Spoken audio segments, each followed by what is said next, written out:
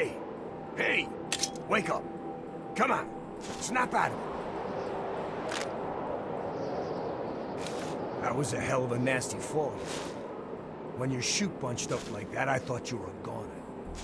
Hope the other guys made it. I don't think their patrol spotted us coming in. So at least we still have the jump on them. You still have your gear, so I'm gonna let you make the call. You can go in quiet, or guns blazing. We'll still meet at the rendezvous point inside, as planned. Then we'll blow those artillery guns to hell. Just watch yourself. The Reds up here don't take prisoners. Good luck.